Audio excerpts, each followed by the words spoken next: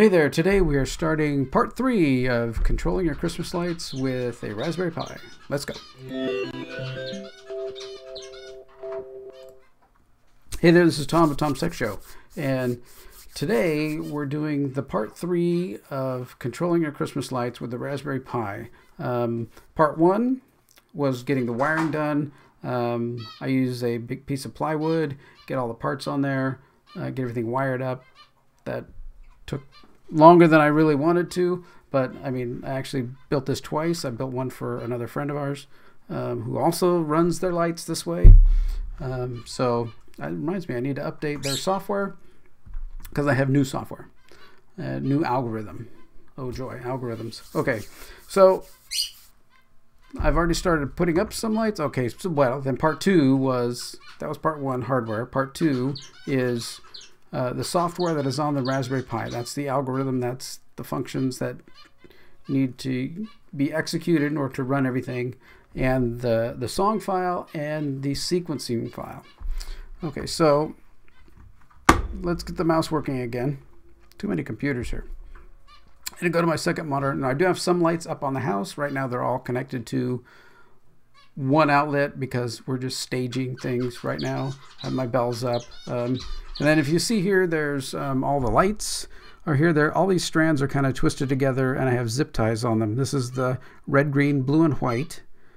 So I do that so it makes it easier to hang. I just kind of hang them under the eave, and that also helps produce light puts light against the house and kind of turns the house a little bit of a color. So it kind of makes the light seem brighter than just being out on the front of the gutter, which doesn't really do much for it. So, um, but what hooking them all together does is at the end of the year when I take them down, I have a big plastic tubs that I put them in, and I start you know with one end and just start going in a circle and coiling them together until you know you get to the end, and then you can just you know you close it up and, and put it away. But then next year when you take it out, you just grab one end and start pulling, and there are no kinks or anything. It doesn't get twisted up or kinked because it's such a big uh, mass of cable that it doesn't get twisted in itself. And you can just pull it out of the box and it just goes right along in front of the house.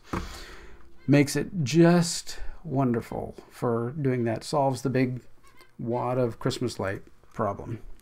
Okay, well, today we're doing the, the Vixen part. This is kind of the last part, other than one that I'm going to do probably at the end once I get everything done and up on the house, maybe this next weekend, um, showing one of the songs playing the the display, and I'm probably going to use the Carol the Bells one because that one's going to take a lot of work. I'm already I'm only like a third of the way through, but so in in Vixen, the first thing we need to do is to set up these elements and patching and controllers. So I'm, I'm just going to delete these because we're going to go over it and, and cover how it gets all set up and patched and controlled. So here we start with, in, over in controllers, you can start at either end, but in controllers, I'm going to have a generic serial controller and I'm going to click plus, and this is going to be Raspberry Pi. And then I'm going to say eight outputs. So that gives me this list of outputs, one through eight over here on generic serial. And here we're going to add a generic numbered group and say call that a pi. And this is also eight outputs. Want to configure a dimming curve? We're going to say no. And we're going to say how do these handle color? Says they're all a single color and don't change color. The color is blue. That doesn't really matter. That doesn't make any difference because of how we're exporting the file. Okay, so it creates these properties. So I have an item 1, 2, 3, 4, 5, 6, 7, 8, and an output 1, 2, 3, 5, 6, 7, 8. Now, I've come in and I've renamed them to Pi White 1 and uh, rename this one to Pi Green 2 and then rename Pi Red. What's the next number going to be? Not 3, it's going to be 4. Okay, so 4, then 8, 16, 32, 64, 128. So we're using those numbers just to remind me that when I'm in the uh, sequence editing on the channel, you'll see when I get to that page, um, that's the number I need to be putting the uh, value, the custom value on. Okay, but now we're here in this thing. I need to select, I need to patch these so that they know where to go. So white one goes to output one and we click patch. Okay, then it says patched element patched. Then we go the second one and we go all the way down the row until we finally get to the bottom.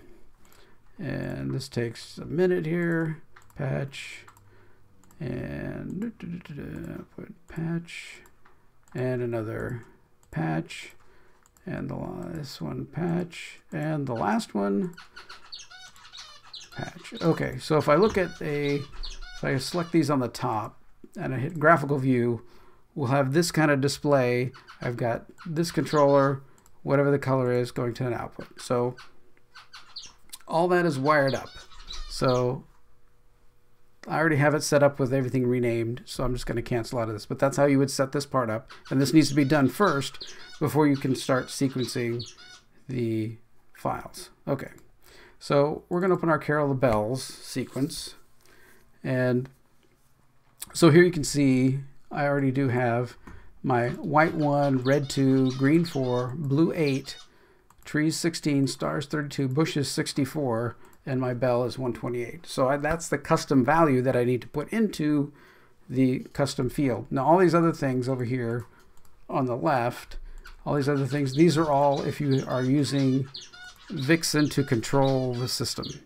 And you've got all these crazy pixel strands and circles and color washes and everything else, which are all very expensive things, but we're going on the cheap, so here we are. So we're down at this device action at the bottom, which is the custom value. So as you play the song, I know I can I can play it. I think it plays in here.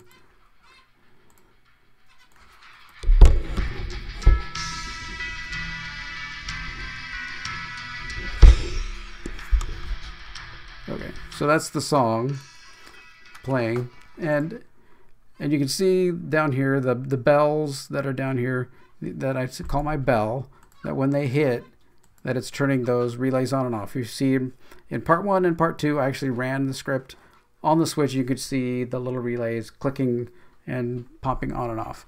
I had thought to try and maybe find a quieter relay box, but that's this is typically back in the garage, and I put uh, boxes and stuff around it so it doesn't, with some insulation in it, so it doesn't actually sound uh, that loud outside when I did this the first year, you could from the street you could hear clack clack clack clack. So I kind of packed you know some insulation around it just to make it so it wasn't quite as loud. But anyway, so I need if I wanted to have a point in here where I wanted the bells to sound, I would click custom value and drag it out here on this line. Now it says custom value zero. Well, that's not what I want it to be. I want it to be custom bell is 128. So I would come up here and I would type 128, enter and now that custom value is 128. So whatever length of time I have here for this to be on, this is about a half second in here, that would turn the relay on for that half second. So, and if you want to move it or you can shorten it, um, one thing you can do if you get several pieces together, you can select them and then you can clone them and then move them over. You can move them over and make them bigger or smaller. Um, so if you have a a typically in some of the songs like like choruses and and um, verses and stuff like they repeat some different things. So I can come here, I can go copy and then move down a little ways, and I can go uh, paste and and stuff to move big chunks of this around so that I'm not having to really do this over and over and over again. So that's kind of what I've done. I've done here. You can see some of these pieces where they cascade a little bit like that. Um, that's because I've taken that section, created one, copied, pasted to the next one because it matched. And then once I get to a part where the music changes, or the instruments change, then I'll go with a different set or a different pattern of values. So once I get all this done and I get my song all sequenced and I like how it sounds, I like how the where the different pieces are. Uh, maybe I've exported and copied it to the Raspberry Pi and run it on the Raspberry Pi to see how it's playing, see how it goes with the clicking and stuff, see if it kind of makes sense. Then I want to do a final export. So Have this done. I have the file saved. Now we go to export. So what I export to, to is a CSV file. There's a couple different options in here for different players, um, but I'm using just a CSV file. So, and I've set that the timing is usually set at 100 milliseconds, but I set it down to 25 because I want some pretty good resolution on some of this stuff. And it doesn't seem to matter how, with my new algorithm that I wrote, um, it doesn't seem to matter how big the file is because it's just going to pick the matching spot in the song to play that value. And the closer it is to, you know, the more granular the value, the better I think it seems to be matching. Um, so everything else you kind of leave the same. Um, we got the Pi controller selected, of course. We don't need a controller file. Uh, we don't need to enable compression or anything else. I click Start and then click the name that I'm going to export it to. Say Export, yes. And then once it's done, then we get a file that has these numbers in it. So like here, there's a 0, comma 2, comma 0, comma zeros, comma 16, 0, 0, 0. So those are the numbers that are corresponding with my white, red, green, blue, trees, stars, bushes, and bells. So when the 16 is on, the trees are on. When the 2 is there, the red is on. So, and here's a 4, that means that the green lights are on. So this kind of pattern is put into the algorithm, into the Python code, and it just basically adds all of these numbers up. So if I get a something that has a 2 and a 4, they add up to be 6. I send the six number 6 to the relay board, and it knows I'm turning on 2 and 3. So and if I send something like here that's 16 and 4, that would be 20, it would know, okay, I'm turning on 3 and 5. So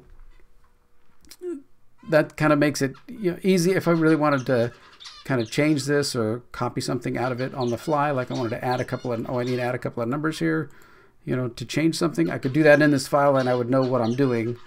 You know, I could add a 128, set of 128s here on the end and, and then I would know that the bells would start coming on and I could, you know, you can take this number and copy it down a little bit.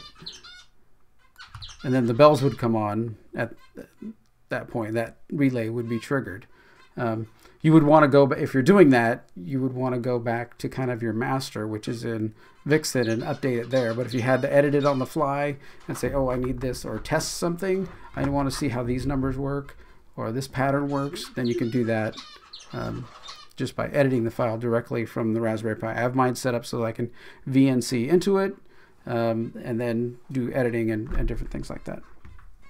Okay, so then you need to just get this um, to however you're going to get it to your Raspberry Pi. You can uh, maybe email it, zip it up, email it yourself, uh, then go to the Raspberry Pi and log into your email and download it. Um, I have a storage NAS in my home because I do backups and hold backups for offsites for other companies and other things like that um, on the cheap for them. So they realize it's in my house and and they just needed something offsite. So I do that a little bit, and all my other personal backups and things are stored on the NAS and then pushed off to a cloud storage and stuff. So I can use that to kind of transfer the files to that NAS and then back out to my download to my Raspberry Pi. Um, so, okay. Whew, wow. So that's that kind of end to end, getting down to Vixen and how Vixen works. Um, it's it took a while to kind of figure out how to get the whole thing situated how I wanted it. Like I said, I was doing this ad hoc. I was not going to take stuff that other people had created. I was going to do it all myself. Um, which I kind of like doing. I like being able to, you know, you know, grassroots just build it up from the bottom and be able to see how it works, where everything's connected, um, and all that. So, um, if you have any questions about how Vixen works or how I'm using it, I mean, well, I can really only answer questions about how I'm using it. Um, if you have any of those questions, if you have any really technical questions about Vixen, you should probably just go to the Vixen website and go to their forums and ask them. But other than that, how I'm using it, um, you can see, you know, I can answer some questions about how I'm using it and what my method is and how I have it set up um, and set up for my songs and everything else and how that works.